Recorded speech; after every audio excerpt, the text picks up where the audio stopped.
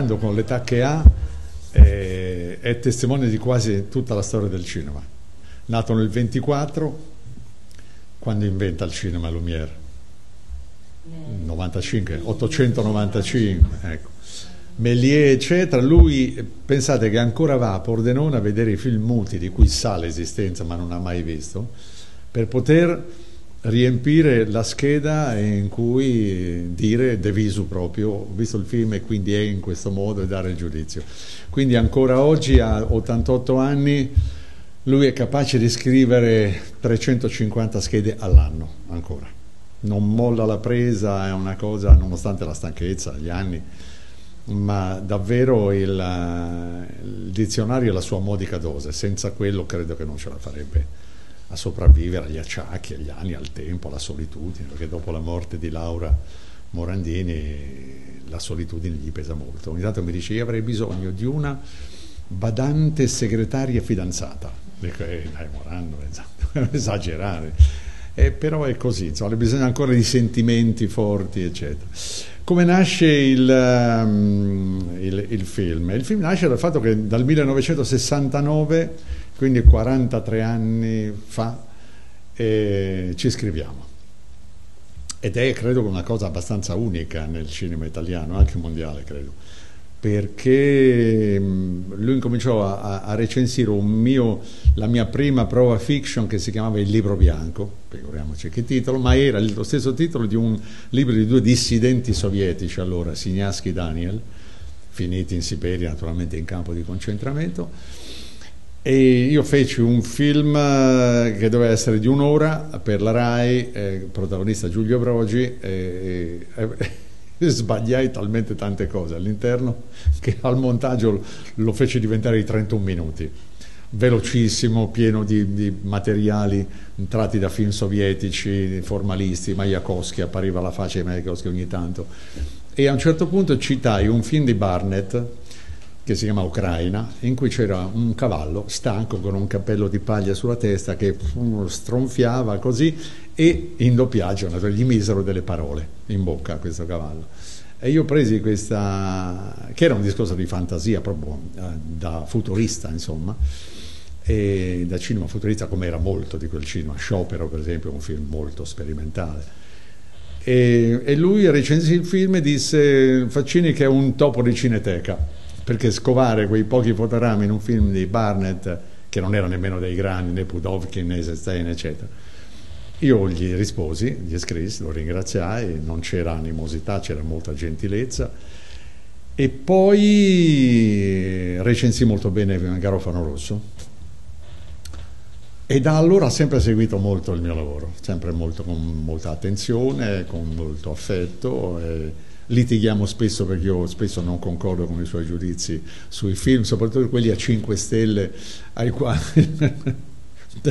non digerisco, non vi dico quali, non digerisco perché altrimenti poi mi dicono che parlo male dei colleghi.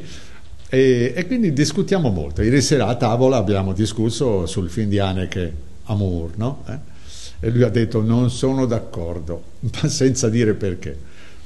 E quindi, e quindi eh, questo lascito, queste lettere di cui ci dicono pubblicate questo carteggio, cioè, insomma un lavoro pesante, insomma, quelle che ha lui, quelle che ho io, è un lavorone. E forse poi non meritano nemmeno di essere lette, insomma. No. Però c'è una vicenda personale, intrapersonale importante, effettivamente io lo considero come un, un po' il fratello maggiore, un po' uno zio.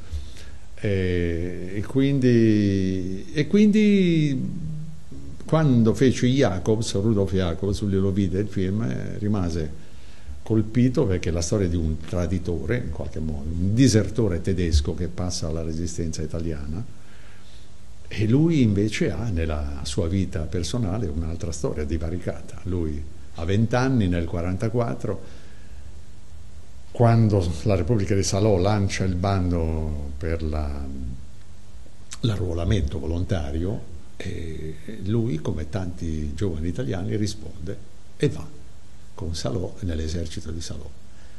E, e, quindi fa, opera una scelta opposta a quella di Rudolf Jacobs e, e, e, siccome il film è un excursus dentro la storia di quel periodo, lui ha ripercorso attraverso il film quella stessa storia che ha percorso lui nella vita E a quel punto mi ha scritto una lettera di sei pagine in cui mm, mi diceva finalmente quello che non mi aveva mai detto, quello di essere stato fascista, giovane fascista, di essersi staccato dal fascismo come se ne era staccato. E allora ho detto Morando ti fanno talmente tanti ritratti brutti in genere, adesso te lo faccio io, partiamo da questa lettera, vediamo se sono più bravo degli altri. E lui ha accettato perché si fida di me, si fidava, si fida di me. E, e quindi siamo stati a casa sua quattro giorni mangiando insieme, io, camminando in questa casa eh, pavimentata di giornali, di carta, queste pareti che sono di, di libri, no? una casa di carta, di carta accatastata, con questo odore pesante di fumo delle mille sigarette che fuma al giorno e, ehm, e l'odore della carta, l'odore di polvere, l'odore di della carta, dei libri.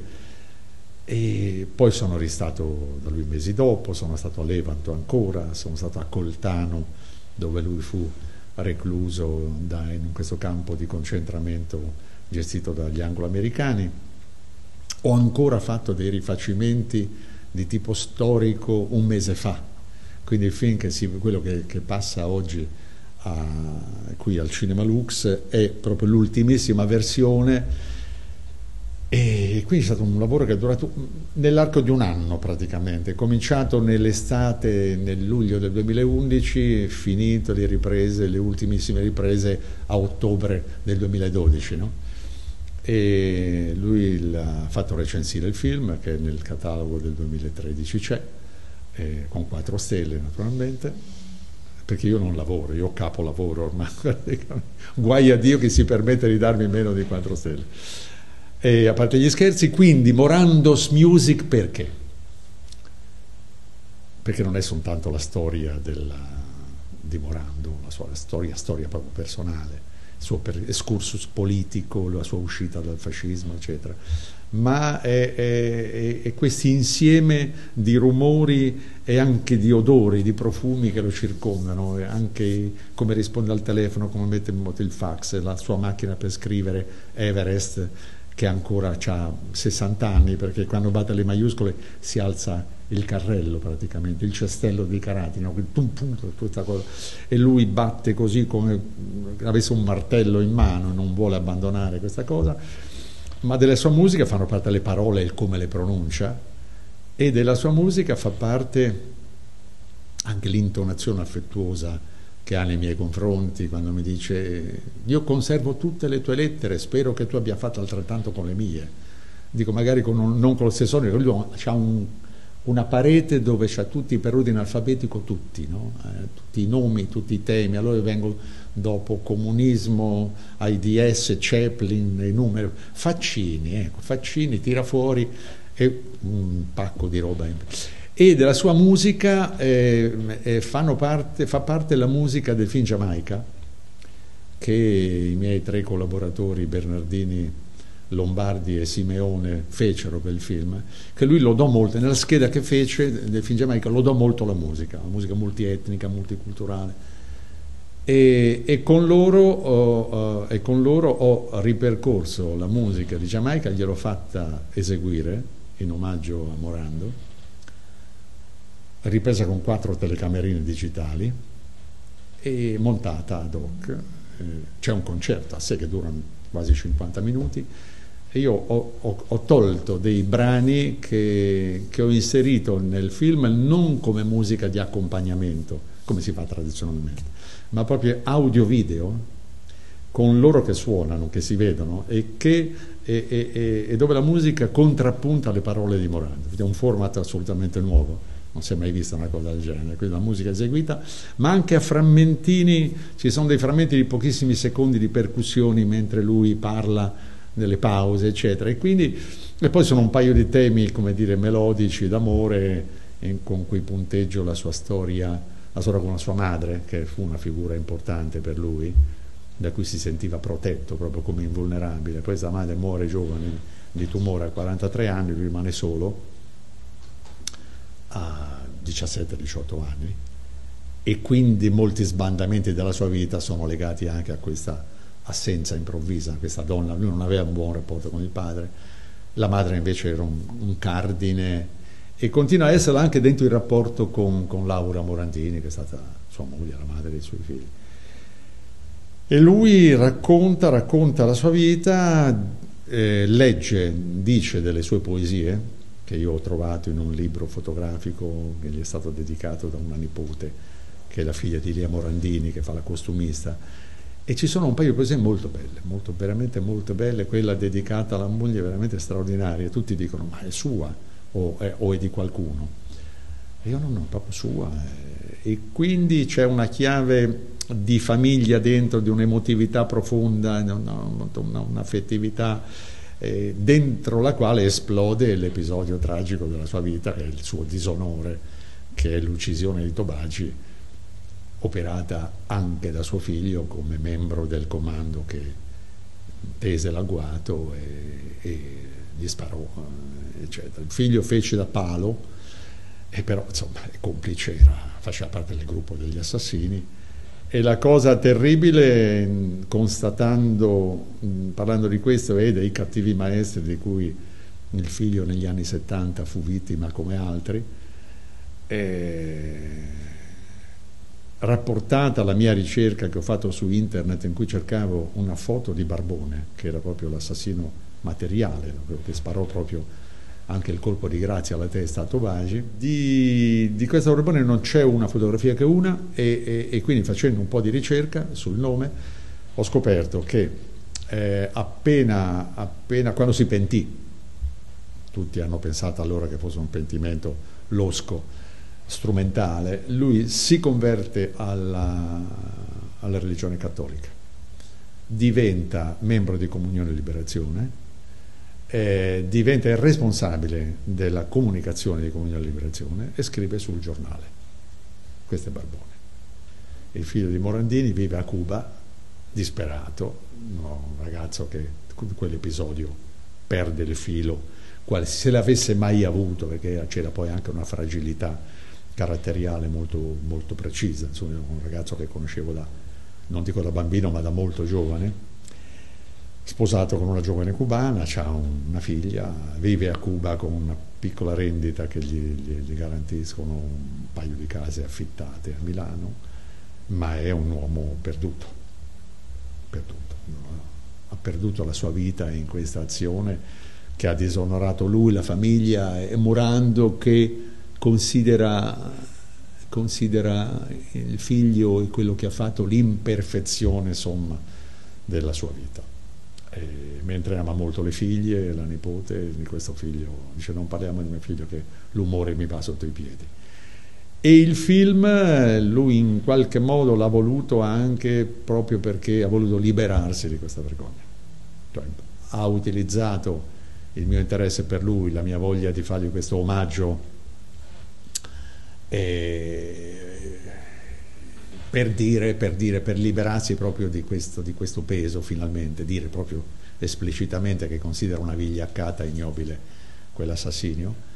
E, e, però appunto su Morando c'è questa damnazio, eh, io voglio vedere oggi il, i critici che ci sono, se vengono, se non vengono, eccetera, come prendono la sua esternazione, perché su di lui c'è una damnazio che è data dal suo primo libro quando disse che i critici in fondo erano come gli eunuchi nell'arem, che potevano desiderare cose ma non farle, non poterle fare. Quindi dice, eh, nella prima edizione lui disse che erano degli eunuchi punto e basta, come se fosse un suo giudizio, un suo parere, nella seconda edizione attribuisce a, a una fonte questa cosa vera era, di cui si era appropriato e che era Elia Kazan, il quale diceva che i critici più avvertiti a un certo punto smettono di fare i critici o fanno gli sceneggiatori o fanno i produttori, smettono comunque di parlare, oppure fanno i registi naturalmente, rischiando in proprio. E quindi questa cosa non gli è stata mai perdonata dalla critica.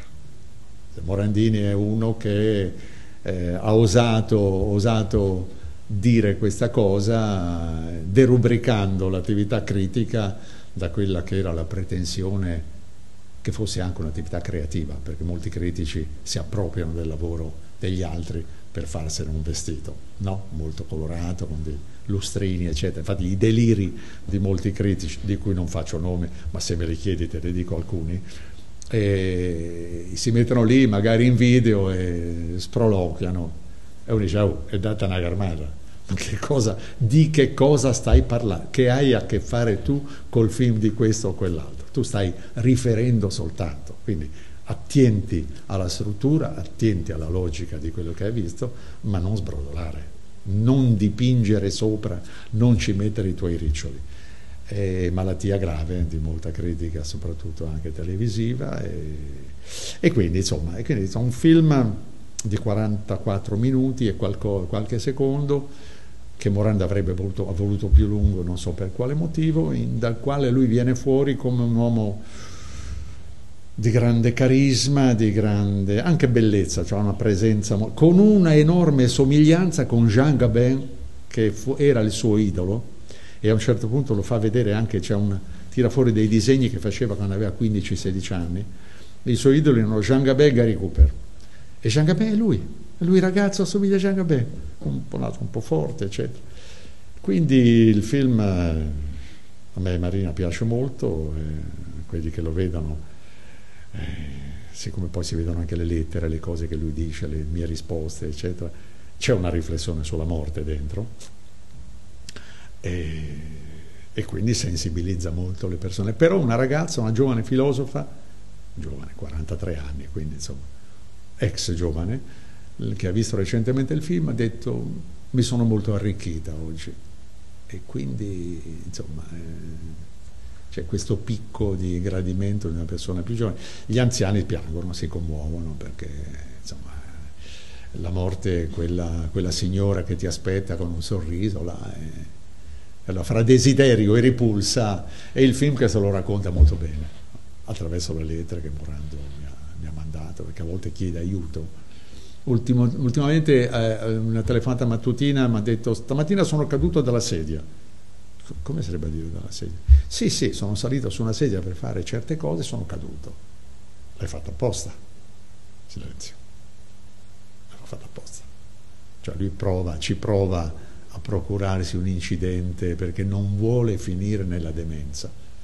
Dice tutto posso sopportare tranne che la caduta nell'impotenza e nella demenza. Non sopporta questa cosa. Io spero che abbia, che trovi la forza di suicidarsi a un certo punto. Lui mi ha detto, quando lo farò non se ne accorgerà nessuno. Dico intanto beccati il film. Basta. Grazie.